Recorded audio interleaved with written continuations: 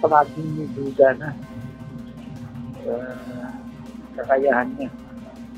At uh, yung mga may kaso na kagaya ng anak niya, eh, mag-expect na uh, yung kanilang kaso, hindi na ilapit sa kanila.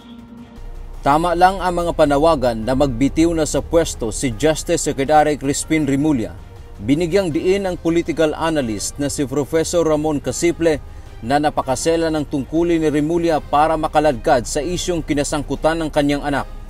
Ayon kay Casiple, hindi na maaalis ang duda sa pamumuno nito sa DOJ lalo na at ang kanyang ahensyang hinahawakan ang lumiliti sa mga ganitong kaso. Ang po sa tingin ko, yung pagdududa ang question, hindi tayo usapin na ipaniwala tayo na gagawa siya ng mali, ano? Hindi yung usapin na may duda. Secretary Justice na dapat walang kaduda-duda na panindigan mo katas. Samantala ayon naman sa National Union of People's Lawyers o NUPL, dapat pag-isipan ni Pangulong Ferdinand Marcos Jr. kung dapat pa ba niyang pagkatiwalaan si Secretary Rimulya. Naniniwala ang NUPL dahil sa insidente may conflict of interest na sa trabaho ng kalihim. Siya ay ang Secretary of Justice, siya ang pinakapinuno ng lahat ng prosecutor sa Pilipinas.